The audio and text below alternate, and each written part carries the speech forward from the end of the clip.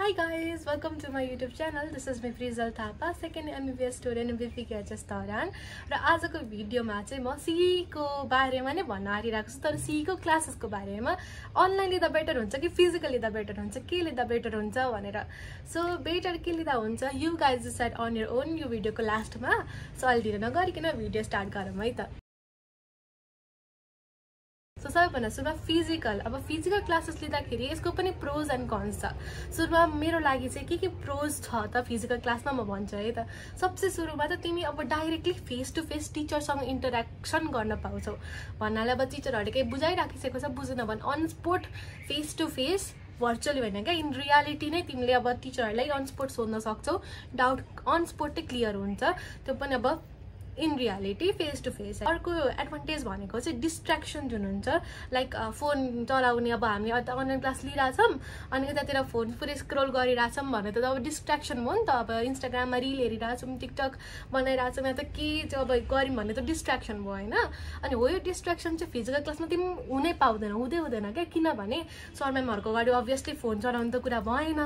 So यो दुइटा चाहिँ प्रोज हो अफ फिजिकल क्लास अनि अझै एउटा माइनर भए पनि लाइक एउटा वान अफ दि प्रोजमै मानिन्छ। तिमीले जब घरै बसेर पढिराख्नु पऱ्यो भने चाहिँ अब तिम्रो इन्भाइरोमेन्ट छुटिँदैन क्या। पढ्ने इन्भाइरोमेन्ट र अनि त्यसपछि सुत्ने खेल्ने बस्ने इन्भाइरोमेन्ट छुटिँदैन। त्यो नछुटिएपछि चाहिँ तिमीलाई अब ल्याक अफ एउटा प्रपर त्यो कन्स्ट्रक्टिभ स्ट्रक्चरल लर्निङ इन्भाइरोमेन्ट हुन्छ नि त्यसको चाहिँ अभाव फिल हुनसक्छ तर एकदम लाइक यो मेरो लागि चाहिँ ठुलो कुरा होइन माइनरै कुरा हो यो चाहिँ। As a one of the pros पनि त्यस्तो ठुलो चाहिँ एडभान्टेज म मान्दिनँ यसलाई चाहिँ।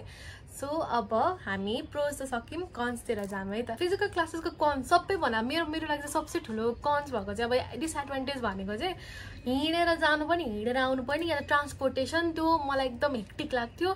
अनि जाऊ जहाँ त्यो ट्रान्सपोर्टको अब लाइक हिँडेर जाऊ या त जे भए पनि जाऊ होइन। अनि गएर त्यहाँनिर पढ पढेपछि फेरि आऊ। त्यस्तो अब लगभग बिहान कोलेको थिएँ आउँदाखेरि बाह्रदेखि एक बज्थ्यो। सो यति गल्थेँ यति गल्थेँ सेल्फ स्टडीको लागि टाइम हुँदैन थियो। किनभने अब आयो गलो एकछिन सुत सुत्थेँ क्या? म कहिले दिउँसो नदिँदा मान्छे धेरै गलेर सुत्थेँ। अनि सुत्यो त्यसपछि फेरि अब लाइक त्यो एउटा पेस बसाउन गाह्रो हुने क्या मलाई चाहिँ। लाइक मेरो बानी चाहिँ फ्लुएन्टली पढ्ने छ। बिचमा ब्रेक त लिन्छु तर फ्लुएन्टली पढ्छु। अब फिजिकल क्लासले चाहिँ के हो भन्दाखेरि जाने आउने ट्रान्सपोर्टमा धेरै टाइम वेस्ट भयो र धेरै त्यो थाके पनि क्या मलाई थकान लाग्यो र मैले राम्ररी पढाइमा ध्यान दिन सकिनँ। अर्को डिसएडभान्टेज फिजिकल क्लासको भन्नुपर्दाखेरि चाहिँ तिमीलाई यदि एक एक्लै बसेर पढ्नु मन छ भने चाहिँ प्रिफर अनलाइन क्लास। किनकि फिजिकल क्लासमा धेरैजना हुन्छ र धेरैजना भइसकेपछि सर्टेन मान्छेको ओपिनियन हुन्छ र सोसियल कनेक्सन्सहरू हुन्छ। यदि तिमीलाई सोसियल कनेक्सन्स अहिले बनाउनु मन छ भने एभोइड गर्नु मन छ र तिमीलाई एक्लै बसेर पुरै फोकसका साथ पढ्नु मन छ भने चाहिँ don't go to physical class. अनि अर्को भनेको चाहिँ अब फिजिकल क्लास अब तिमी कुनै इन्स्टिट्युटको न लिन्छौ त्यसको त पर्टिकुलर सेड्युल्ड टाइम हुन्छ क्या। अनि त्यो छुटो भने छुटेको छुटै भयो। तिमीले फेरि अब न त्यसको रेकर्डिङ नै हुन्छ न सरलाई फेरि पढाइदिन्छौ भन्न मिल्छ तिम्रो लागि त फेरि क्लास त रिसेड्युल हुँदैन नि त। त्यही भएर अब तिम्रो अब लाइक पिरियड प्रब्लमले या त अरू कुनै प्रब्लमले गर्दाखेरि तिमी क्लास अटेन्ड गर्न सकेनौ भने त्यो एउटा फिक्स सेड्युलमा तिमीले त्यो टाइम दिन सकेनौ भने त्यो क्लास छुटेको छुटै भयो। सो यति चाहिँ मेरो pros and cons of physical class हो। र अब चाहिँ म अप्सन्स अफ फिजिकल क्लासेस दिन्छु है। त मैले के गरेको थिएँ भन्छु सुरुमा मैले चाहिँ फिजिकल क्लासेस भनेको चाहिँ नेमको मात्रै लिएको थिएँ। नेमको फिजिकल क्लासेस पनि मलाई आउ जाऊ धेरै टाइम लाग्यो। म थाकेर मैले अरू केहीमा पनि टाइम दिन पाइनँ।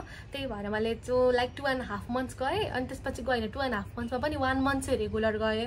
त्यसपछि बाँकी वान एन्ड हाफ पनि कहिले जान्थेँ कहिले जान थिएँ अब कसले को कुन टिचरले पढाउँछ र कुन टपिक छ कुन सब्जेक्ट छ त्यो हेरेर जान्थेँ। भएर म चाहिँ धेरै फिजिकल प्रिफर चाहिँ गर्दिनँ। So let's come to online so अनलाइनमा चाहिँ हेभ मेनी अप्सन्स धेरै नै अपर्च्युनिटिज छ है अनलाइनमा चाहिँ। सो अब अनलाइनको प्रोज एन्ड कन्स भनौँ है त। प्रोज भन्नुपर्दाखेरि अनलाइनको तिमी म्यानिपुलेट गर्न सक्छौ।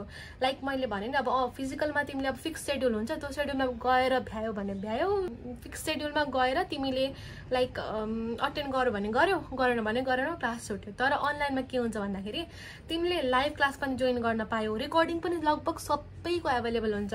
सो रेकर्डिङ तिमीले अब त्यो अन स्पोट लाइभ क्लास भइराखेको बेला तिमी बिरामी भयो या त तिमीलाई लाइभ क्लास हेर्न मन छैन तिमी टु एक्सको स्पिडमा हेरेर बुझ्न सक्छौ भने तिमीले आरामले टाइम सेभ गर्छौ। तर अब अनलाइन क्लासमा के हुन्छ भन्दाखेरि तिमीले अब अनलाइन क्लासको एउटा प्रोज भन्नुपर्दाखेरि तिमीले चाहिँ अब जतिचोटि मन लाग्छ त्यतिचोटि भिडियो रिप्ले गरेर हेरेको हेरे हेरेको हेरे गर्न सक्छौ क्या। सो जबसम्म तिमी बुझ्दैनौ तिमीले मजाले भिडियो हेरिरहन सक्छौ।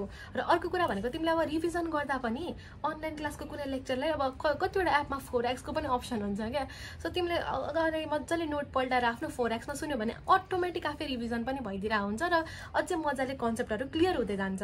अर्को कुरा भनेको चाहिँ तिमीले अब आफ्नै सेड्युल बनाउन सक्छौ अनलाइन क्लास अब तिमीले फिजिक्स केमिस्ट्री बायोलोजीहरू भयो होइन? अब तिमीले सेपरेटली लेक्चर लिएको छ भने तिमीले आफैले त्यसलाई म्यानिपुलेट गरेर सेड्युल बनाउन सक्छौ। जस्तै कि म बिहान फिजिक्स पढ्छु अनि दिउँसो बायोलोजी पढ्छु बेलुका केमिस्ट्री पढ्छु। यसरी तिमीले आफै सेड्युल पनि बनाउन मिलो। सेड्युल जस्तो सुकै हुन्छ। म चाहिँ अब लाइक टुवेल्भ पिएमदेखि उता दुइटा च्याप्टरको लेक्चर हेर्थेँ अनि बिहान पख चाहिँ म लाइक एमसिक्युज प्र्याक्टिस गर्थेँ र त्यही च्याप्टर रिभाइज गर्थेँ। त्यही साइकल रिपिट हुन्थ्यो मेरो चाहिँ। सो तिमीले आफै एउटा सेड्युल बनाउन सक्छौ। लाइक पर्टिकुलर इन्स्टिट्युटले दिएको फिजिकल क्लासेसको सेड्युलै तिमीले फलो गर्नुपर्छ भन्ने चाहिँ हुँदैन। सो अर्को भनेको चाहिँ अनलाइन क्लास लियो भने तिमी आरामले घर बसेर पढ्न मिल्छ।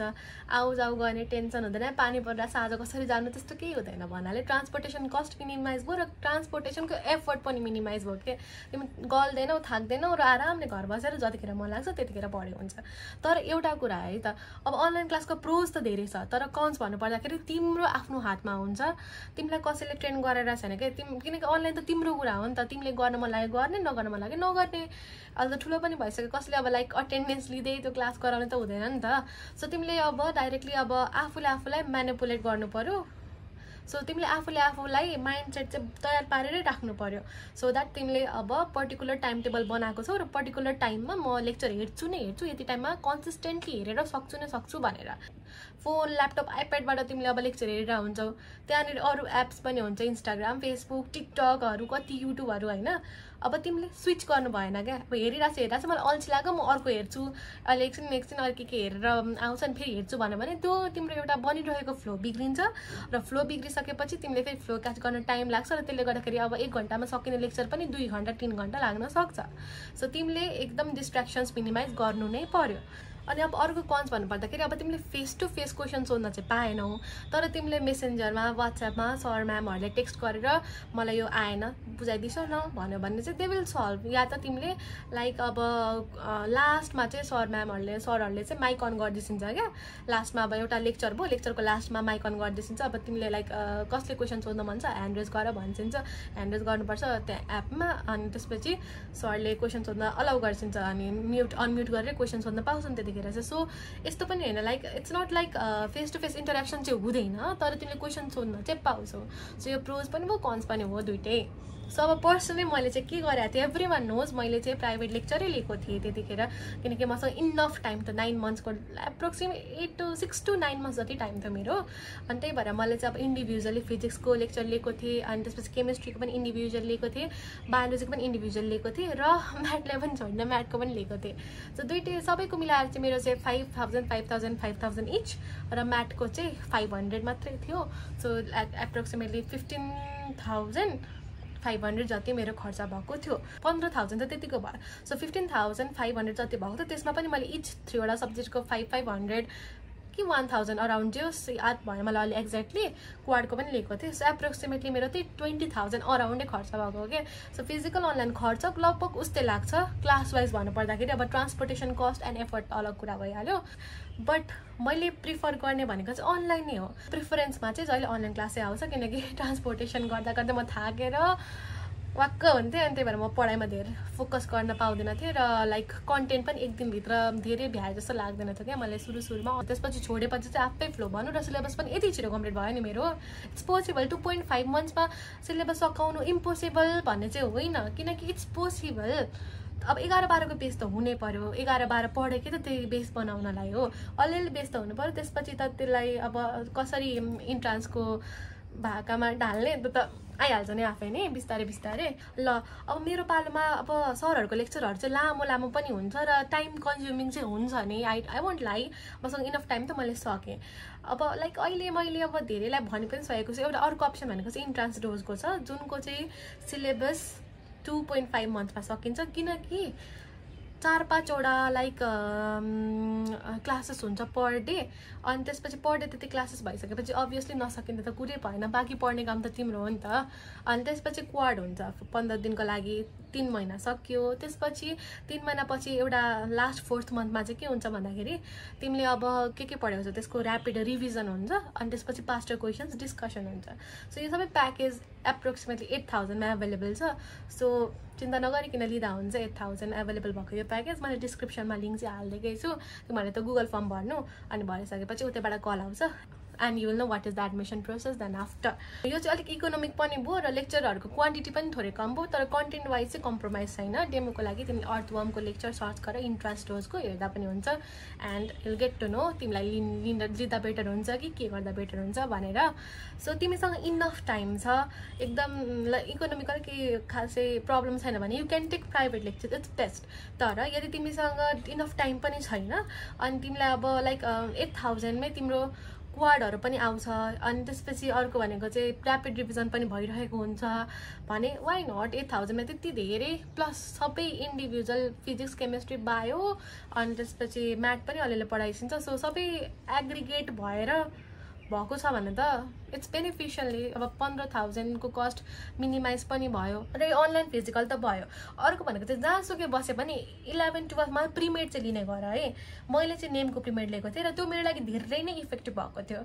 सो गाइज प्रिमेड चाहिँ ल्याऊ। एघार बाह्रको भाइ बहिनीहरू प्रिमेड चाहिँ लिनै पर्छ है। किनकि त्यसले एकदम तिमीहरूलाई तिमीहरूको पाथ लाइक कसरी अगाडि बढाउने सिईको बेसिसमा त्यो चाहिँ प्रिमेडले नै सिकाउँछ तिमीहरूलाई so yes guys by the end of the video you guys know physical लिने कि अनलाइन लिने भनेर यो चाहिँ क्लासेसको बारेमा मात्रै थियो है अनलाइन भर्सेस फिजिकल तर mock exam online versus physical मलाई सोध्छौ भने I always prefer physical mock exam किनकि तिमीले थ्री आवर्समा कसरी आफूले आफूले ट्रेन गर्छौ भन्ने डिटर्माइन गर्ने भने कि फिजिकल मोक एक्जामले हो किनकि तिमी फिजिकली प्रेजेन्ट हुन्छ थ्री आवर्सको प्रेसराइज इन्भाइरोमेन्टमा आफूले आफूले कसरी आफ्नो माइन्ड चलाउँछौ भनेर ट्रेन गर्छौ। अनि कति क्वेसन छोड्ने कति क्वेसन गर्ने तिम्रो मार्क्स त्यसरी क्वेसन अटेम्प्ट गर्दाखेरि कति आइरहेको हुन्छ भनेर धेरै नै फरक पार्छ। Is know what to decide online लिँदा बेटर हुन्छ कि फिजिकल लिँदा बेटर हुन्छ भनेर मेरो पर्सनल रिकमेन्डेसन इज अनलाइन लिनु बट आफ्नो लागि आफै सोच यो सबै प्रोज एन्ड कन्स राखेर सोच। तिमीलाई जुन बढी बेनिफिसियल लाग्छ त्यही नै गर। र एउटा कुरा तिमीले अनलाइन लिइरहेछौ तर तिमीले अब मोक टेस्टको मात्रै टेन्सन भयो भने don't worry about it online mock test दिँदै गर। कम्प्लिट सल्युसनको बुक लियो। ओएमआर तिमीले जति नै गुगलमा एभाइलेबल हुन्छ प्रिन्ट गर अनि थ्री आवरको आफ्नै सेल्फ मोक टेस्ट ल्याऊ क्या आफै बसेर केही आन्सर नहेरिकन टो थ्री आवरमा एकदम कन्सन्ट्रेट फोकस भएर मोक टेस्ट दिए जसरी गर्दा पनि भयो। सो गाइज आजको भिडियो चाहिँ यति नै रहेको छ। Thank you so much for watching my video meet in my next video bye bye अनि म भ्लगहरू पनि बनाऊँ। से है त बनाऊ कि नबनाऊँ कमेंट बक्स बक्समा